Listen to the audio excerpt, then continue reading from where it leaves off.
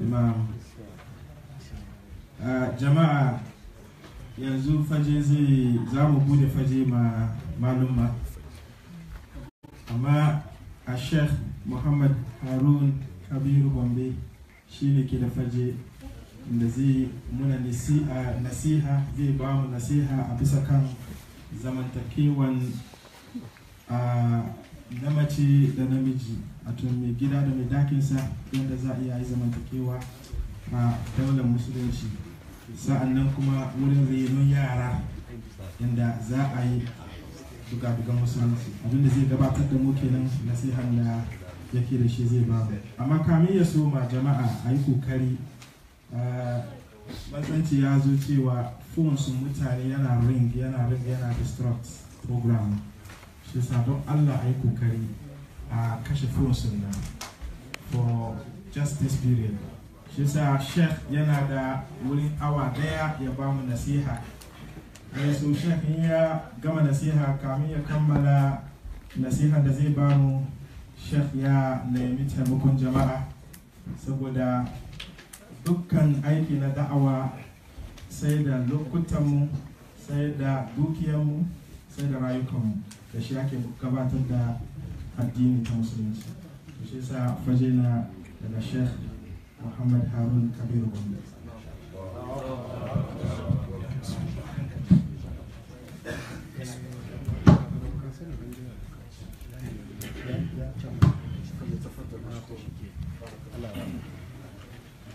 أعوذ بالله من الشيطان الرجيم بسم الله الرحمن الرحيم الحمد لله الذي تدكدكت لعظمته الجبال الراسية العالم فلا تتحرك ذرة إلا بإذنه ولا يخفى عليه في الكون خافية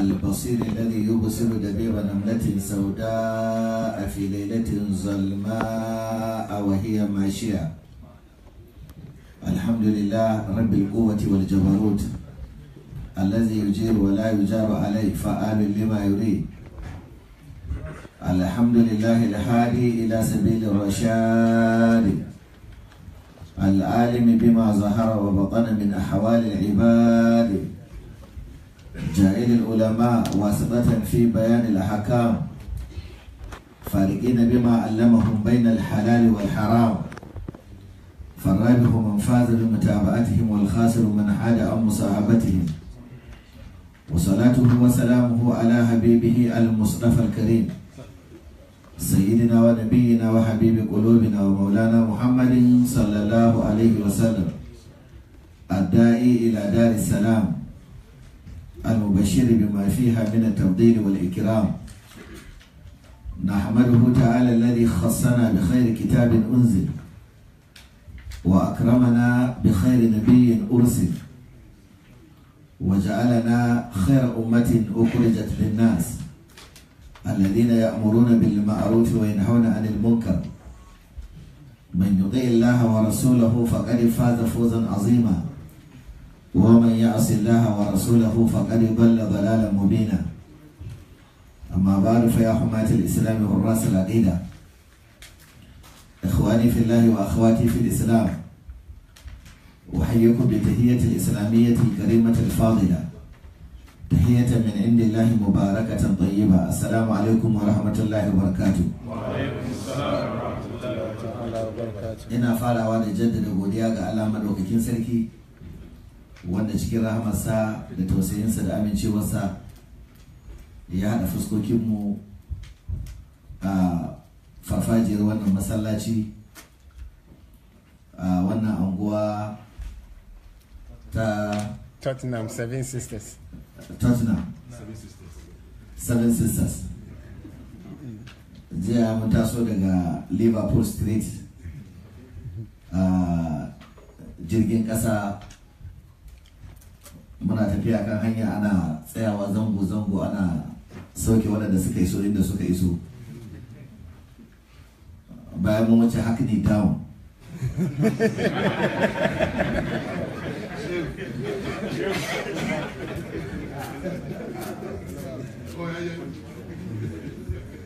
akwai inda muka zo sai aka ce seven sisters. Sai aka zai aka soke na seven sisters. A lokacin ƙwaƙwalwa ta tana ta zagayawa.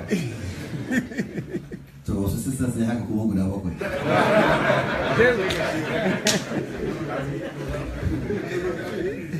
Su ashe su da anguwa ne alama ne na anguwa tana da tarihi. Dama daga abin da london ta gagara da shi kansa a birane na duniya shine tarihi. Ko ina za a ce maka shekara ɗari kaza shekara kaza bayan yaƙin duniya na biyu ko na ɗaya sai aka yi kaza sun kiyaye wannan tarihi. Shi yasa london na cikin garuruwan da ba su karɓar canji da wuri. In kana so ka kawo canji ko wani iri a london aiki ya same ka. Shi yasa da kuka zo da islam sai kun yi haƙuri. Amma in kuka ci gaba da haƙuri in allah madaukin sarki ya amince da kyawawan halayen ku za ku sha mamaki. Ubangiji zai ba ku mamaki. Ina addu'a wannan taro allah ya ƙara masa albarka. Labari ya same ni ta hanya ingantacciya.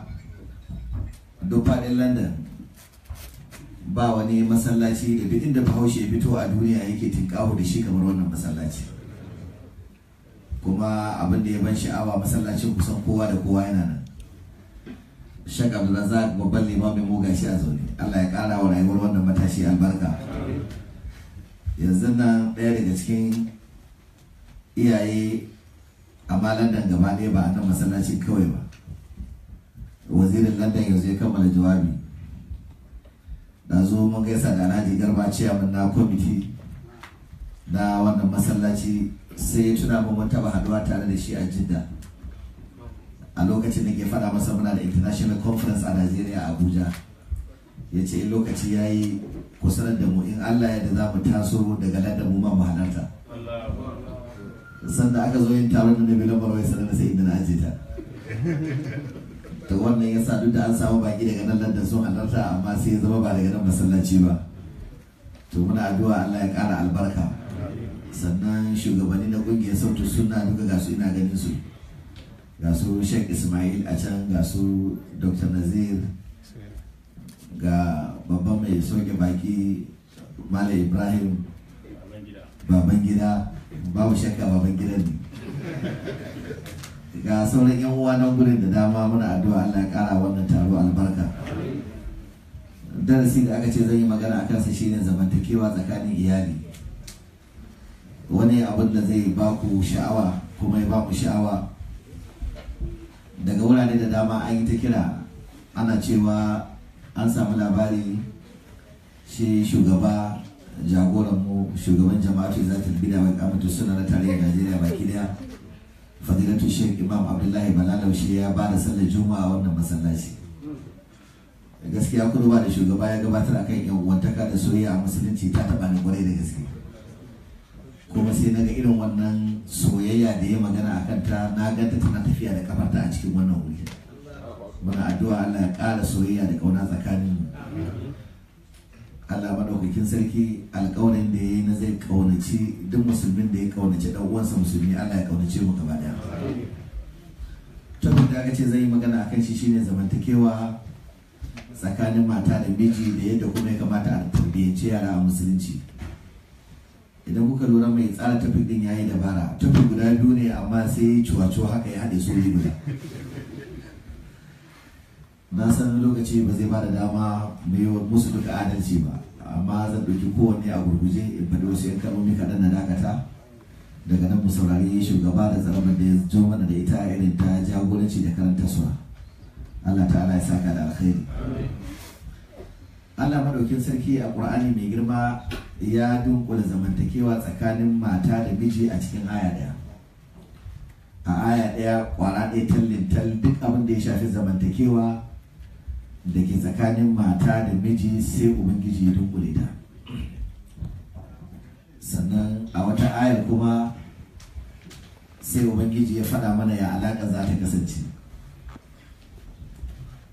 Aya ta farko wacce take Allah maɗaukin sarki da ya zo zai yi magana tana cikin suratul baqara sai yake cewa uhilla lakum lailatal siyami rafathu ila nisaikum hunna libasun lakum wa antum libasun lahun علم الله أنكم كنتم تختانون أنفسكم فتاب عليكم وعفى عنكم فالآن باشروهن وابتغوا ما كتب الله لكم وكلوا واشربوا حتى يتبين لكم الخيط الأبيض من الخيط الأسود من الفجر ثم أتموا الصيام إلى الليل ولا تباشروهن وأنتم عاكفون في المساجد Allah madaukin sarki ya ce wa hila lakum lailata siyami arrafatu ila nisaikum farkon musulunci kamar yadda bai halatta ka sadu da iyalinka da rana ba a cikin watan azumi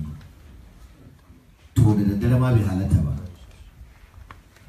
Musamman idan bayan ka sha ruwa gyangyaɗi ya ɗan ɗauke ka to shi kenan Allah kai mu gobe.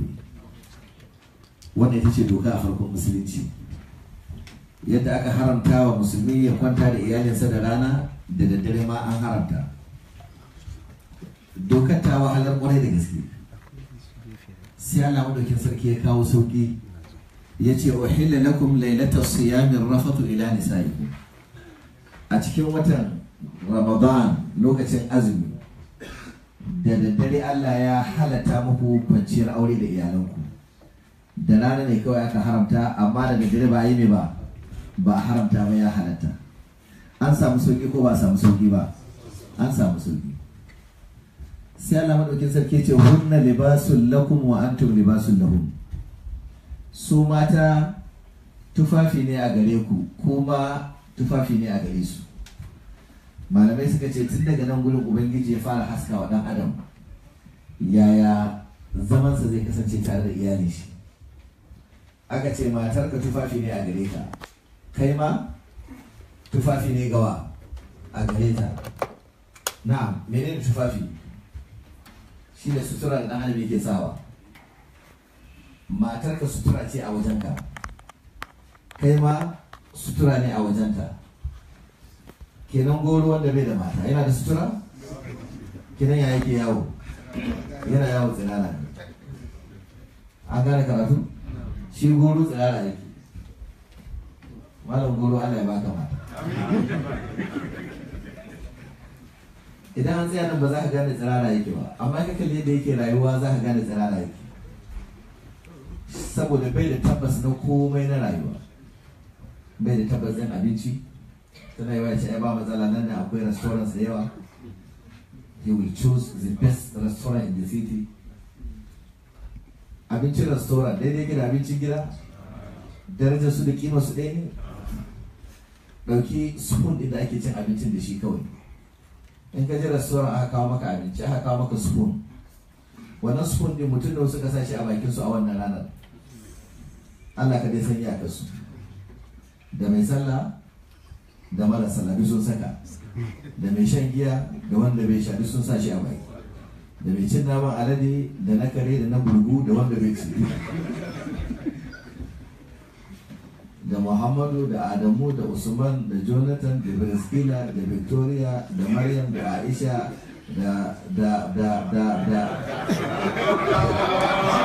Akramakullah. da zaka hada da da sufan mai gida da ke ci abinci da shi. Wanda aka wanke sai an sa tishu an goge a samu ne adana. In yara za su taba ce kai na babanku ne ba a tabawa wanda zai nuna maka kimar da darajar ba ɗaya ba ce. Kenan abin da wanda yake nuna maka shine wato aure yana ƙara wa ɗan adam daraja yana ƙara wa ɗan adam girma. Yanzu ku ga daraja ta hadda qur'ani. A ce ka haddace alqur'ani mai girma izo 60 sai a samu wani ɗalibinka da shi duka izo goma ka ɗaya haddace amma shi yana da mata kai baka da mata. Ana rama ba mata. Ɗalibinsa ba. Akwai mata. Watakila ana rama ma liman ne. Shi kuma ɗalibin shi ne ladan. Sai suka je bakunta za a saukar da su. A ina za a saukar da ana rama? A zaure za a yi. Me yasa za a je shi a zaure? Saboda bai da mata. almajirin sai na za a kai almajirin? Tun daga shi da matarsa. Cikin gida za a kai. Ban daki da mai gidan yake zaga nan za a nuna masa a ce to ga abin nan. Sai Allah rama a kai kuma ka zauna nan zaure kai ta dawa Allah ya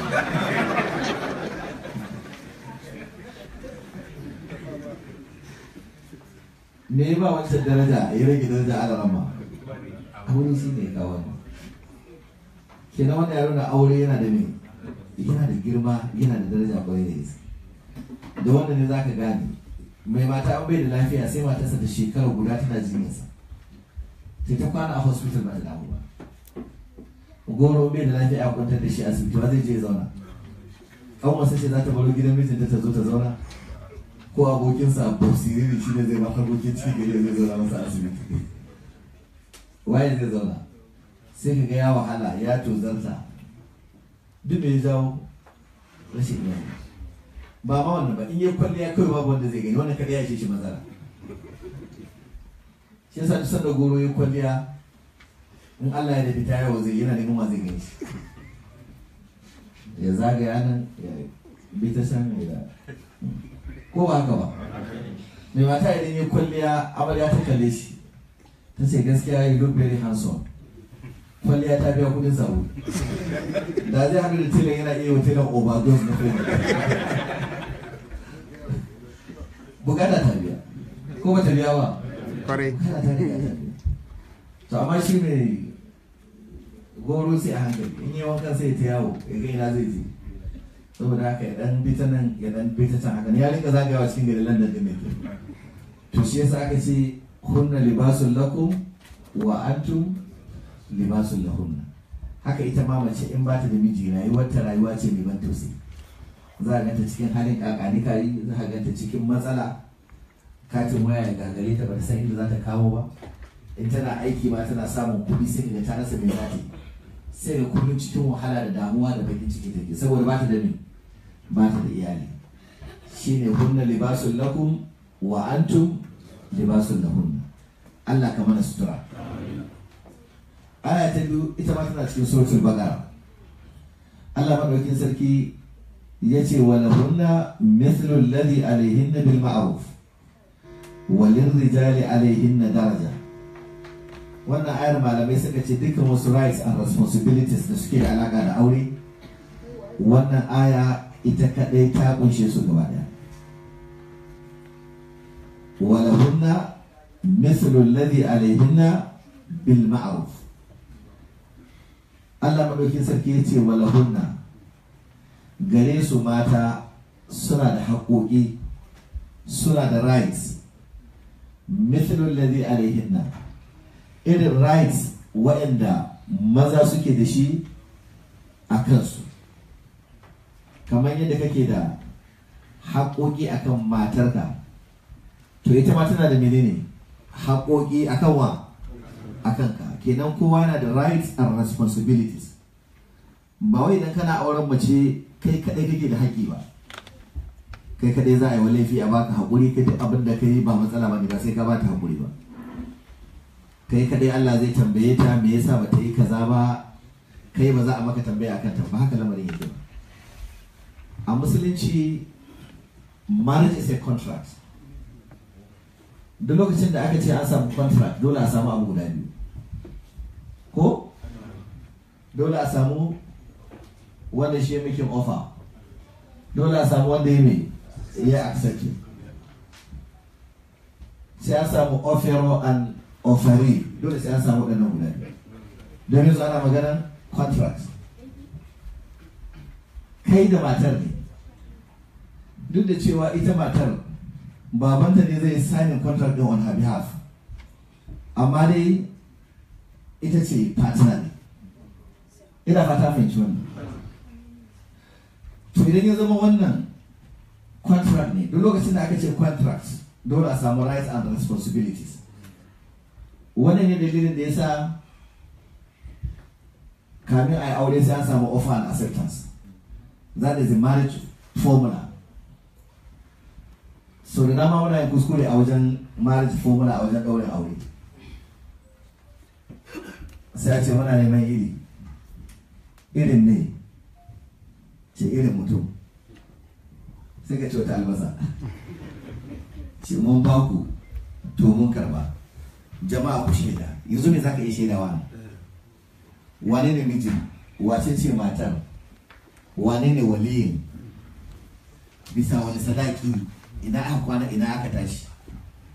To dole a wajen siga sai an fayyace wa'annan abubuwa gaba su kamin mai ba da shaida zama ya yi shaida. In ka zo ka ce ni wani in kai ne angon ina neman auren wanci ka faɗi sunanta. Ni wani in faɗi sunana. Ni muhammadu kabiru gombe ina neman auren ta asubi a wajen waliyarta alhaji na ta'ala. Yanzu an san wane ne mai auren ko? An san wace ce za a aura? An kuma san wane ne waliyin da zai ba da auren? Shaidu sun kasa kunne suna ji. Sai shi kuma ce ni alhaji na ta'ala na aurar maka da ta asubi a bisa sadaki 100 pounds bisa sunna ta annabi muhammad sallallahu alaihi wasallam. Yanzu duk shaidu suna saurarawa suna jin me ake tattaunawa. Ne sake yin magana in ce na karɓa a bisa sunna ta annabi muhammad sallallahu alaihi wasallam. Shaidu suna wurin sun saurara su ce mun shaida. Yanzu aure ya tabbata. Kai da ka zo ba da shaida yanzu ka san mijin ka san matar ka san waliyin ka san ne sadaki. Idan kuma ba mijin ne zo da kanshi ba ya turo wakili ne. Shi miji bai da waliyi. Za zo ɗaura aure kidan ce ina waliyin amarya da waliyin miji? Wa ga maka? Ina waliyin amarya da waliyin ango? Wa ga maka ango yana da waliyi ango bai da waliyi wa ke da waliyi mace ce take da waliyi saboda ita a musulunci ba a yarda ta aurar da kanta ba. Manzo Allah sallallahu alaihi wasallam ya ce la tuzawwiju al-mar'atu al-mar'ata wa la tuzawwiju al-mar'atu ghayraha. Mace ba za ta iya aurar da wala tuzawwiju al-mar'atu nafsaha. Mace ba za ta iya aurar da mace ƴar uwarta ba. Ko ba za ta iya aurar da kanta ba. To tunda ba za ta iya aurar da kanta ba ba za ta iya aurar da wata ba kenan dole tana da buƙatar wanda zai aurar da ita. Wa zai aurar da ita? Shine waliyi amma shi namiji shi bai da waliyi yana iya zuwa karɓi aurensa da kanshi. Ba kuma rashin kunya yi ba. A ce ina agwa ka ce gani.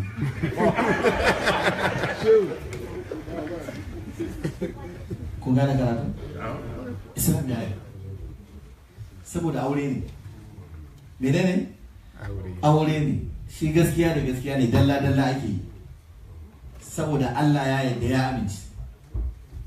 In kuma yana jin nauyi yana jin kunya kunya abu ne mai kyau a addinin musulunci. Kunya menene? Abu ne mai kyau a musulunci. Sai wakilta wani.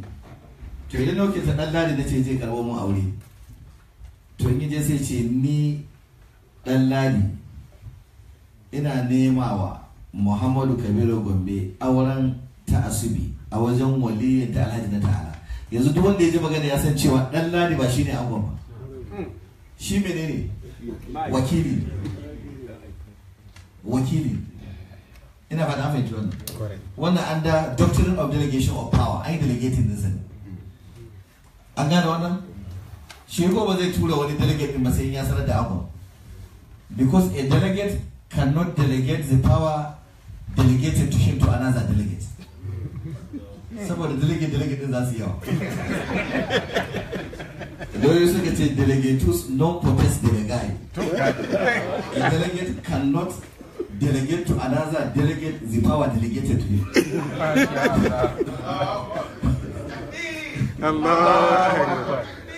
Allahu Akbar. Amma ba da masabar malikiya suka ce ba matsala wakilin wakili kan wakili. Suka ce wakilin wakili shi ma kama wakili ne sai wuce kawai zai kama. To yanzu alhaji na ta'ala zai yi magana ya ce ni alhaji na ta'ala to ba zai ce na auren maka ba. Domin dan asabi da ya zo shi ne angon? To ba zai ce na auren maka ba. Sai dai ce na aurarwa a kira suna angon. In ni ne a ce na aurarwa Muhammadu Kabiru Gombe. Da ta asubi a bisa sadaki kaza. To daga nan asabe sai magana ya ce na karɓan masa. Ba na karɓa ba. In ya karɓa ba gida zai tafi. Sai ce me? Na karɓan masa ko na karɓa a bisa zimmarsa. Ko na karɓa a bisa me? Zimmarsa. Wannan yadda ake yin siga a musulunci kenan. To shaidu sun shaida da wannan ne yake tabbatar da aure ya tabbata a sunna ta annabi Muhammad sallallahu alaihi wasallam. Mun taba zuwa wani ɗaurin aure mai sanarwa ya mige ya ce idi ya je wajen hali ya nemi da ya an bashi shi kuma ya ba malam muhutari jama'a ku shaida. Na miƙe na ce duk wanda ya shaida shaidar zurzuri wane ne angon idi ne angon ko hali ko malam muhutari ya ga wani kusa wane ne angon so wajen siga dole a fayyace wa'annan abubuwa zama an san su. Domin shaida za a bayar. Wanda zai ba da shaida ya kamata ya san akan me? Ya ba da me? Ya ba da shaida. Ina fata fahimci wannan. Wasu malamai suka ce in ka kalli institution na aure ya yi kama da kaman an kafa kamfani ne. An kafa kamfani. Tsakanin mata da miji. Mata is a shareholder.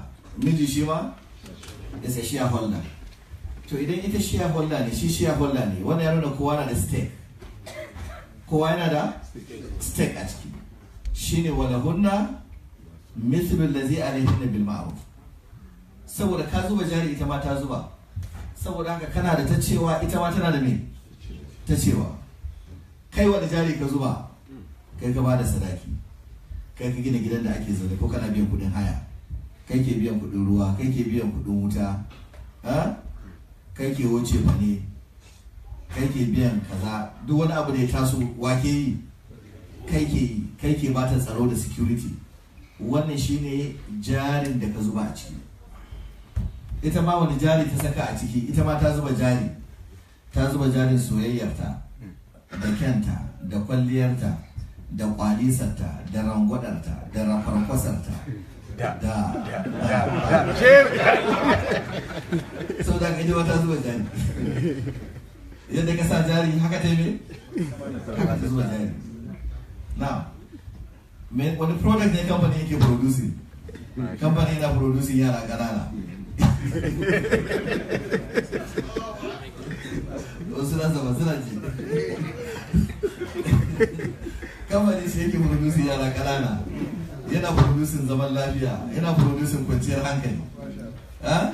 Yana producing farin ciki yana producing annashuwa yana producing walwala yana producing ɗebe kewa. Duk dai wani abu mai daɗi kamfanin da yake producing ne. Ina fata fahimci wannan.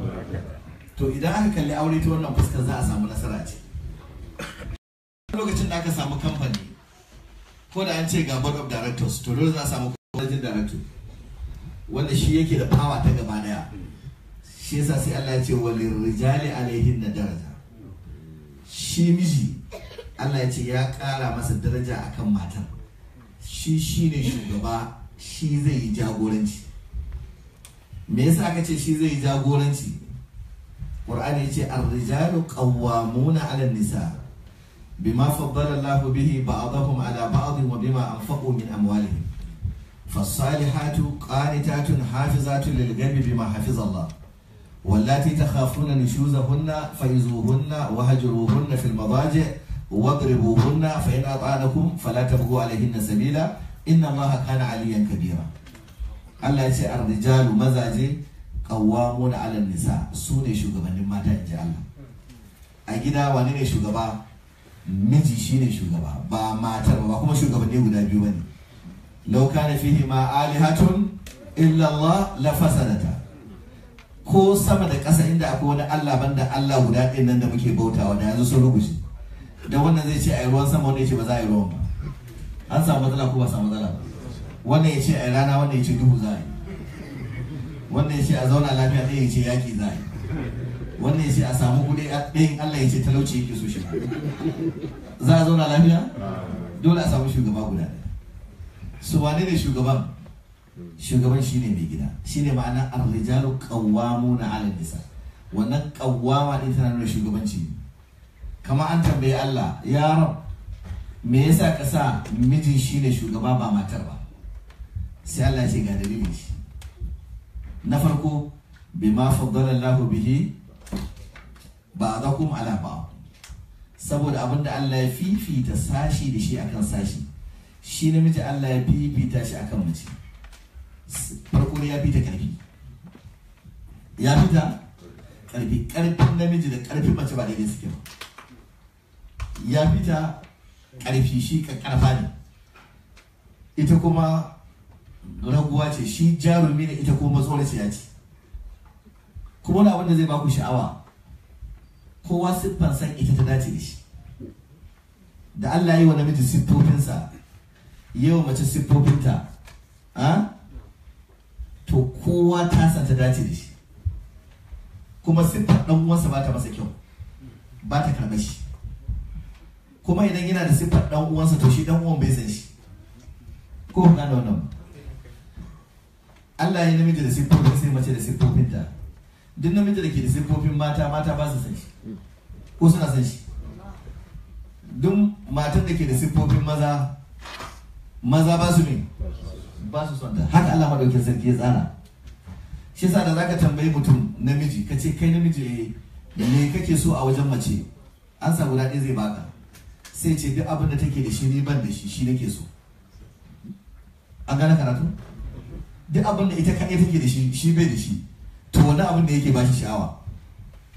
Ita ma da za ka tambaye ta me kike sha'awa wajen namiji? Sai ta ce abin da yake da shi ni ban da shi. Duk abin da kuka yi tarayya wannan bai burgewa bari ba ku misali ku gane. Namiji ya zama kakkarfa ya ba shi aka ko an kushe shi a ce wannan namiji yana da ƙarfin bala'i ji ba haushi an yaba shi ne ko an kushe shi?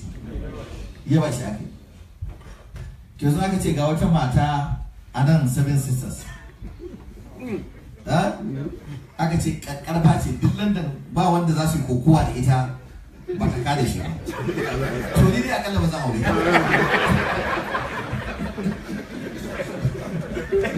ni ba da ni ba ce wani zai aure aka rawa ko la ko kana samu masu goyon baya da now kenan namiji shi zai aure fi son raguwa matsoraciya ina ƙofar gida na jima ta tana ihu a cikin gida kamar garin zai tashi. Tana ihu na ɗauka gobara ce ta tashi a gida. Na tana da gudu na shiga cikin gida. Ban ganta a tsakar gida ba sai na ji daga cikin daki take ihu. Ne ta zarce na shiga cikin daki kusa abin da na gani? Sai na ganta akan gado ne take tsalle take ihu. Lafiya kina tsalle kan gado kina ihu? Sai take nuna min kadan gare wani wannan ihun da ake kamar za a yi kadan gare da shi wadanda sai zo da ya zara ce ta zata shugabanci da akwai da gaskiya ana kula gaskiya so yadda ka'ida take kenan mace an fi santa in ta zama raguwa matsoraciya mai saurin kuka to namiji ya fi santa yanzu misali kayi amarya in a wajejen wani inda ake ɗauke wutar lantarki ka shigo ɗaki an ɗauke wuta. Sai ka ɗan laluba kan gado kan ina amarya take. Sai ka ji ta da wani gemu da saje da kasuwa za ka zauna? Saboda gemu da kasuwa ba siffar ta bace to haka ana maɗaukin sarki tsara. To wannan abu da Allah ya fifita namiji da shi akan mace ya fita ƙarfi ya fita jaruntaka ya fita ƙoƙarin gwagwarmayar rayuwa. Ana samun mata masu ƙarfi ana samun mata jarumai amma ba shi ne mafi rinjaye ba. Wannan exception ne is not the general rule. Ina fata fahimci wannan. Ana samun namiji rago matso da shi amma ba shi ne general rule ne wannan exception ne ina fata fahimci wannan. Amma general rule din shi ne namiji shi ke da mai ƙarfi da ƙwazo fiye da wa? Fiye da mace. Abu na farko kenan da ya sa Allah ya shugabantar da namiji a cikin gida. Ƙarfin na tun daga ƙarfin jiki ƙarfin ƙwaƙwalwa da ƙarfin tunani duka Allah ya bashi. Shi yasa wajen kasuwanci in za a rubuta bashi Allah ya ce wastashidu shahidaini min rijalikum. Fa in lam yakuna rajulaini fa rajulun wa mar'atani fa rajulun wa mar'atani min ash-shuhada. An tadilla bima tardawna min ash-shuhada. An tadilla ihdahuma fa tuzakkira ihdahuma al-ukhra. Allah ya ce a nemo shaidu maza guda biyu. In ba samu maza guda biyu ba sai a samu namiji ɗaya a kawo mata biyu su cike gurbin ɗaya namijin. Sai an kawo guda biyu saboda namijin ya fi ƙarfin ƙwaƙwalwa. Me yasa Allah ya ce an tadilla ihdahuma fa tudhakkiru ihdahuma al-ukhra. Saboda in dai ta bace ta ce to ni ko fan 80 ne shi ne ta ce da biyar? Ta ce ƙwarai fa da biyar. Kaga da yi karo karo sun haɗa ansa idan za ku ci ne an ta duka ihdahuma fatu da kira al-ukhra Allah ka gafarta mana. Allah ya ce to wannan ne dalilin da yasa na sa namiji ya zama shugaba. Sai Allah ya ce wa ma anfaqu min amwalihim. Sannan idan za a yi aure namiji ne ke kashe kuɗi ba matar ba. Duk wanda ya ɗauki kuɗin sa ya kashe to zai ji zafi idan abin ya lalace. Idan namiji zai hira da mace mace ce za ta riƙa zuwa gidansu ana gida ko namiji ne ke zuwa gidan matar? Namiji ne zai je gidan matar. Ko? Na'am. In an zo ɗaura aure wake ba da sadaki matar ko namiji? Tun wajen fira in za a kyauta wake wani kyauta matar ko namiji? In za a yi akwati mai taya da fantumuti mai namiji ne ke ba matar ke wake kama gidan da za a zauna? Namiji. Wa zai wuce fa ne? Namiji. In yaro bai da lafiya wa za a buga waya? A ce yaron nan ba bai jin daɗi. Namijin shi za a buga waya a ce ga halin da ake ciki. Duk wata matsala ita taso da za a kashe kuɗi kan namijin take. To tun namijin ne yake kashe kuɗi shi yake kashe kuɗi. To shi ya kamata ya zama shugaba. Domin zai taka tsantsan ya san wahalar da ya sha kamin ya auro ta. Da za a ba mace dama ta sake miji da ka sha mamaki. A rana ɗaya sai ta sake ka sau ashirin da bakwai da ba abin da ya ko me za a yi sai kuma kana ɗauka wai sai ba ta san ka ne za ta sake ka. Wallahi tana son ka bai ta sake ka. In so daga baya in ma za ta faɗa rijiya ne ta faɗa. Amma dai a lokacin abin da ta gaya mata sai yi shi. Shi yasa zaka je kotu ka ga mace ta kawo ƙarin mijinta ta ce a raba auren. Mijin yana cewa ina biku ta ce ni ka ban lafiya. Ce kai ka je. Ce don Allah yana son ta yi haƙuri. A ce ke kin ji? Ta ce alƙali ko a kafa ka ɗaura min shi zan sun ce. To kai ka je a ni dai ta yi haƙuri ta faɗa min laifi na zan gyara. A ce ke kin ji ce ka gaya masa ko a gudun fanfarki a lahira ban su Allah ya duk aiki wannan a kai ruwa rana da ya buɗe baki ya ce to shi kina da ƙali na sake ta kuma sai ta fashe da kuka. A wacce ta fashe da kuka ta rungo mai ta ce mu tafi gida rabu da munafikin alƙali ne wanda kuma alƙali ne munafikin alƙali kenan tana son miji ne ko ba ta son amma da aka tace a bata ne. Shi yasa dan matan ka ta ce ka sake ni kar ka da ka sake ta. Kar ka ɗauka ba ta son ka ne. Tana son ka ranar matan ta ce kawai ta motsa. Ta sake ni ka ce ake haƙuri. Ni ba zai yi ba billahi da sai ka sake ni. In kaga ta ta da kura sosai bar gida. In ka fita waje zagaya inda ake sai da makulashi. Samu dan wani gasasshen kibi da ya shawarma da pizza da donut da da da da. wata yan madara ka haɗo ka zawo ta ce dogo kai fa? Ai da haka kake yi da ba samu ka.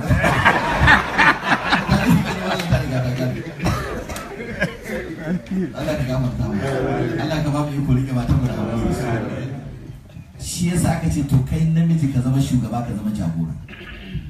To kenan idan aka zo za a yi aure namiji shine mai shugaba ko? Ita kuma matar ita ce mai bi ko? Na to daga nan za ka gane menene haƙƙin namiji a gida. Menene haƙƙin mace a gida. Namiji haƙƙinsa shine abin da shugaba ke so. Me shugaba ke buƙata shugaba abu kwara biyu tallata ne ke buƙata. Me da me? Respect and obedience. Wannan shi ne abin shugaba ke buƙata. Shi yasa namiji dukkan haƙoƙinsa kana iya tara su cikin kalma guda biyu. Respect and obedience. In ne matar za ta masa biyayya sannan ta girmama shi an gama. Bai da wata buƙata iya wannan guda biyu. Duk sanda ya ce a yi kaza ta yadda za ta yi. A bar kaza ta yadda za ta bari. Sannan tana girmama shi tana darajanta shi tana kambama shi a matsayinsa na mijinta. Shi a wajensa ya fi kowa sa'ar mata. Saboda shi shugaba ne wannan shi ne abin da shugaba ke buƙata. Ita kuma mata me take buƙata? Ita abu biyu take buƙata. Abu nawa take buƙata? Abu biyu. Menene abu guda biyu? Shine love